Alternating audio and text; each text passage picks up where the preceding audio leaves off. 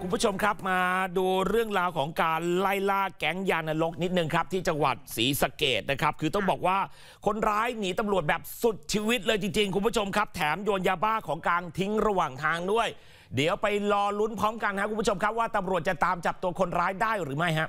เอาโอเคปิดเลยปิดเลยปิดเลยปิดเลยยกตามยกตามมึงตามไปบ้าบ้าบ้ามึงตามไป มึงหน้าเขาบริหารมึงหน้าเขาบริหารมึงตายมึงต้องไม่บอกตายแท้ไปเลยครับมาเลยมาเลย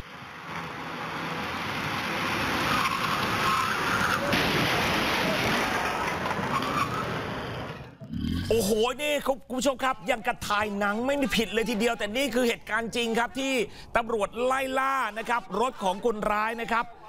คือระหว่างที่ไล่ล่าบนท้องถนนนะนะครับ มันไปมีด่านของอุทยานอยู่ตรงนั้นด้วย ปรากฏว่าคนร้ายนะครับพุ่งชนด่านไปเลย แล้วก็ขับหนีต่อ นี่คือคลิปนั่งกล้องหน้ารถนะครับของตำรวจที่ขับไล่ล่ารถเก๋งคันสีดำของคนร้ายนะครับที่เป็นแก๊งยาเสพติดเนี่ยฮะจังหวะนี้ครับ ขับพุ่งชนด่านเลยอะนี่นี่ครับ แก๊งยาเสพติดครับ ตามถนนศรีสะเกดขุขันนะครับเลี้ยวเข้าสายเดชอุดมโชคชัย เข้าไปในพื้นที่อุทยานแห่งชาติเขาพระวิหารนะครับ ตรงนั้นมีด่านกั้นไว้อยู่ แต่คนร้ายไม่สนใจ ขับพุ่งชนทันทีครับ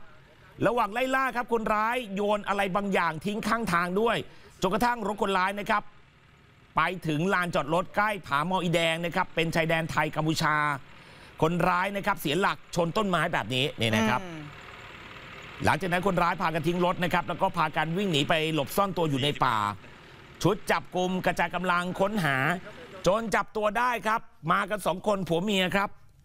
ฝั่งผัวนะครับชื่อว่านิติศาสตร์หรือว่าเบสก้อนทองครับ อายุ 26 เมียชื่อว่านางสาวแนทอายุ 19 เป็นคนศรีสะเกดทั้งคู่เลยทีเดียวครับพอค้นในรถคุณผู้ชมครับ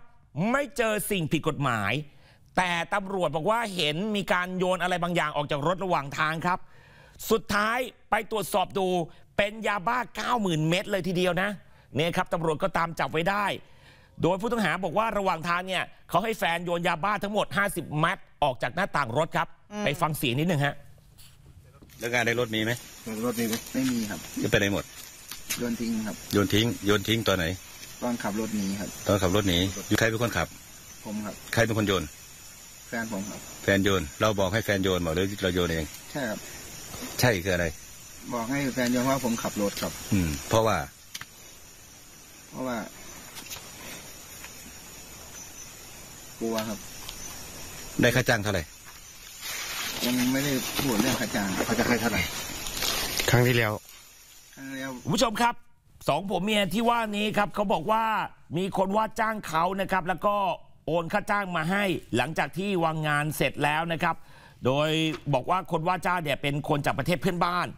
สุดท้ายตำรวจคุมตัวสองผัวเมียนะครับ ไปสอบสวนขยายผลต่อไปแล้วครับโอ้โหนี่คือแบบว่าค่ะคือหนีสุดชีวิตเหมือนกันนะเพราะรู้ว่าถ้าโดนจับเมื่อไหร่เนี่ยนะครับ ก็คงจะติดคุกยาวกันเลย แต่สุดท้ายเป็นไงล่ะ ไม่รอดอยู่ดีเออนี่คือเสี่ยงตายจริงๆเลยเนาะหาอาชีพที่มันดีๆทำดีกว่านะคะ รวยเร็วรวยทางรัฐ รวยแบบเนี้ยโอ้โห คุณเอ้ย แล้วดูขับรถแบบนี้นะ คือขออภัยเดี๋ยวกลับบ้านเก่านะเออก็เกือบไปแล้วไงเมื่อกี้นี้เห็นไหมฮะจะกลับบ้านเก่าสียหชนต้นนะไม้ไปแล้วครับเออนี่ยังโชคดีนะครับที่ไม่ได้เป็นอะไรกันมากมายนะ ค่ะ